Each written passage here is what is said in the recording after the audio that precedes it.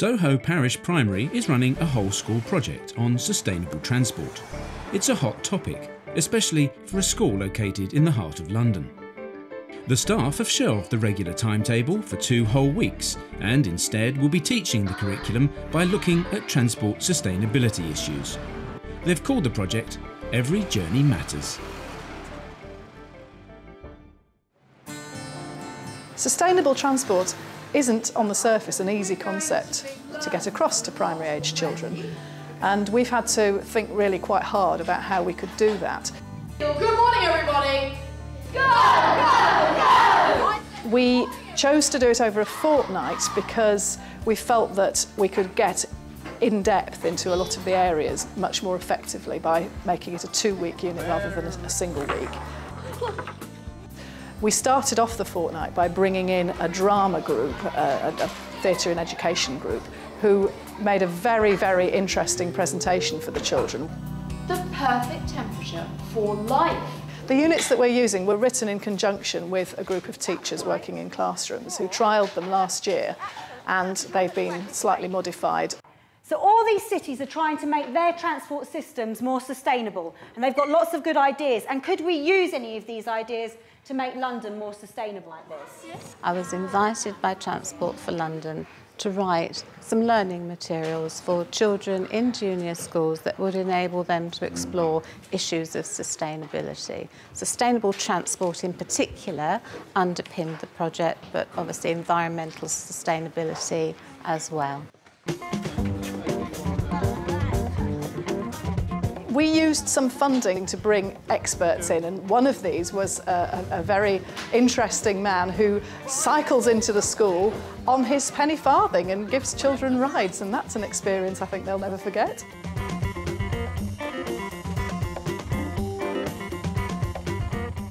We all know bikes are fun, and at your ages, of course, they're fun. But in the end, a bicycle's a wonderful means of transport you can see how engaged the children are in the issues and in the work that they're doing. They're absolutely passionate about it. Would I ever manage to get around the world on one of those? You might need slightly longer legs than the ones you've got at present because that distance is too big for your legs.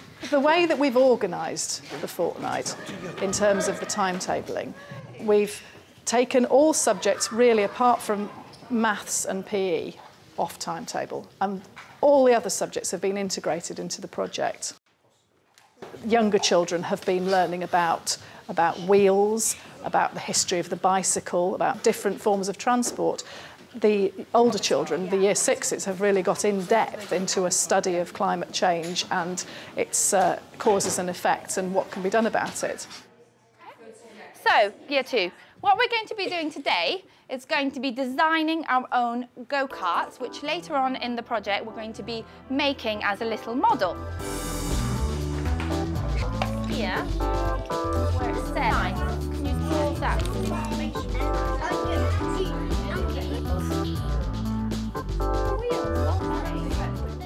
We're doing top view and side view of go-karts we're colouring them in and we're going to make them.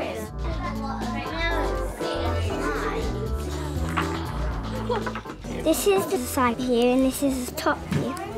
What I love about doing a project like this is that the children get loads from it. I think they learn in a really rich context and um, they get really excited about doing and they go home and they tell mum and dad about it and uh, they're able to talk about a topic in a little bit more depth than you would otherwise where you're trying to rush through certain things when you're trying to teach in the normal way. Because the side view, all you see is that line the two wheels. Do you see the wheels at the back? A little bit, don't you? With year two, we, we decided to use a book called Wheels by Shirley Hughes, and it actually has all kinds of different vehicles with wheels that the children would be um, familiar with, like roller gates, buggies, bicycles. And the idea to design and to make the go-kart came from the fact that the main character gets given a go-kart that his brother makes for him.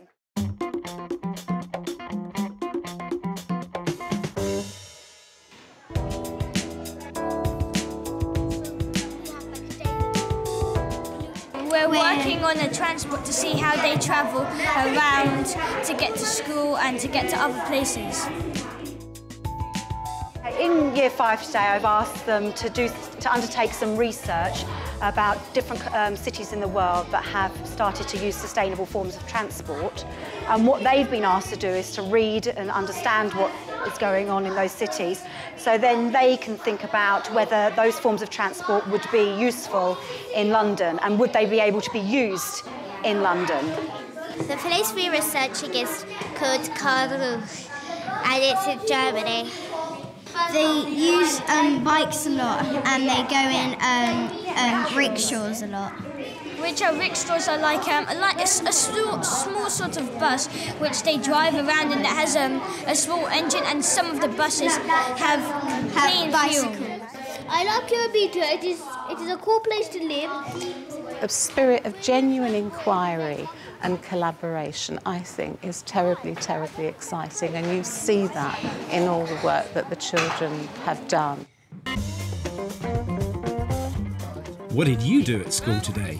I rode a penny farthing. An unforgettable, if slightly nerve wracking experience for the staff, it provides an opportunity for the children to connect physically with what they've been learning mentally about the history of the bicycle.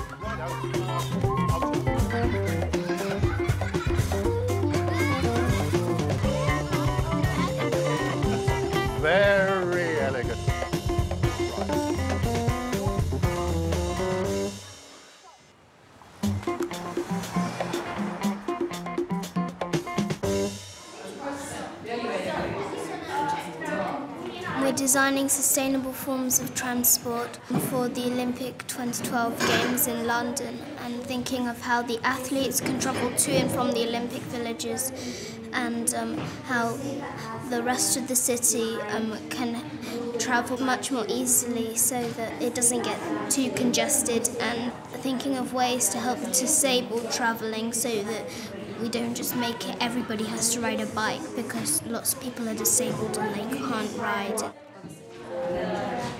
I was appointed as mayor today for my team, and my responsibility is organising everybody's job and telling them basically what to do.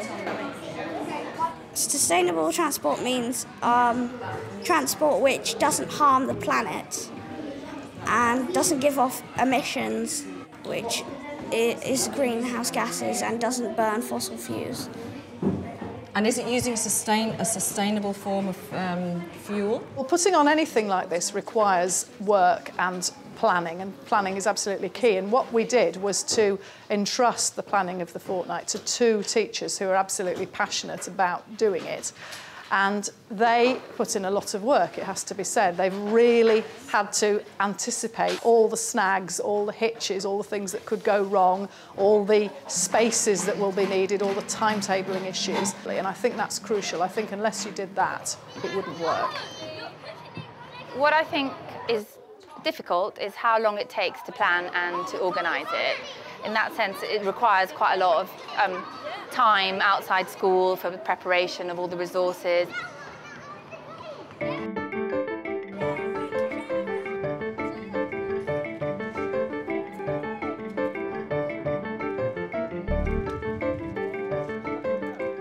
One of the things that we've done was to get a, a cycle trainer to come in and work with the children and to, to help them to develop safe cycling skills, which is really, really important anywhere, but particularly in this very busy and built up area. The children cycle out of the school gates into Shaftesbury Avenue, round Piccadilly Circus, down Piccadilly, and off to uh, St James's Park. Like cycling because um, it's not like cars either polluting. It's it's good for the environment, and also it's good and it's good for your and it's good for strength. I think the government should put up posters that um, say cycling is good for you, and then they really like have nice pictures, and so people encouraged to cycle a bit more. Cycling is a sustainable form of transport and it's really good because the only fuels it use your, is your energy that you put into it. It's also really, really fun.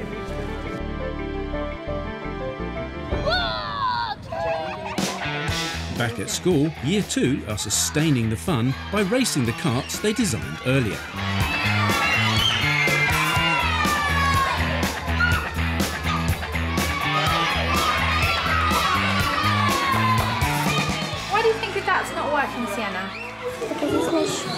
And what will happen if there's no straw? Look at the axle. If the axle won't turn, will it?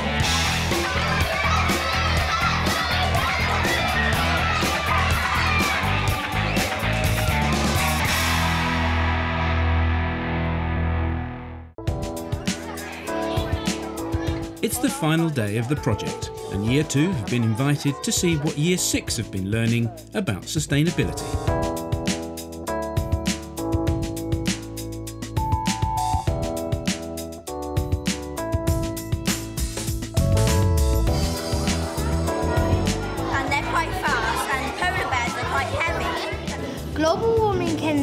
Almost anything animals, plants, and especially the environment. Rivers in Australia and China have been affected. All the fish have died because the waters are turning acidic. Every class will go round and look at the work of the other classes, and children in each class will have an opportunity to present their work to others and show what they've, do- what they've done. Parental involvement is something that Soho Parish does well. Now it's the parents' turn to have a look at sustainable transport through the eyes of their children. We live in central London, so it's um, we see an awful lot of traffic, and um, I think we could do with a little less. And it would be nice for certainly Jonah and his sister Violet to to be able to cycle to school every day. It's a cardboard base, wooden wheels, wooden axle with a sticker on it. I think they need to know any kind of um, present day issue, really. I mean, teaching, the sooner you start, the sooner they know, and at the end of the day, they're the ones going to be making the decisions in not so many years, really. We have a problem, a worldwide problem. It's not the fault of one person, it's the fault of the entire world population.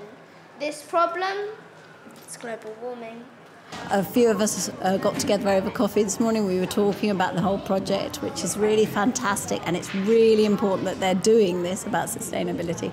Slightly worried they might be terrified in that you know they think they're going to die or be flooded or you know children live for the moment so it's very important that they know these messages but sometimes i think they might not sleep at night but i think it's generally a good thing I would say make issues of sustainability central to the curriculum. It should be an integral part of children's learning, not a tag on.